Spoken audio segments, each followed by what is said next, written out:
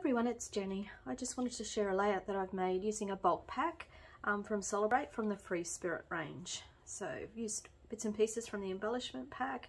I've got acetate, ribbon, so there goes there. And then this flips up here. Two little double bits in there. They close in under the tag. Lift down and then up there. So I use acetate, chipboard, comes up there. Then on this side, once again use little bits of the beads from the embellishment pack, and chipboard, acetate, clips up here, and clips right open. So like I said, this is using the Celebr8 Free Spirit range. So hope you enjoyed watching my little video. Thank you.